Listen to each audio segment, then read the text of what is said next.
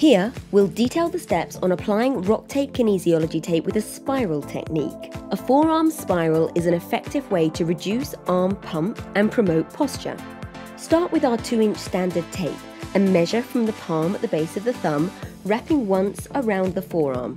Round the tape's corners to avoid catching on gear or clothing. Stretch the skin by holding the arm up, palm facing up. Anchor the tape to the palm at the base of the thumb tape facing out. Pull away the release paper, wrapping once around the forearm. Rub to activate the adhesive.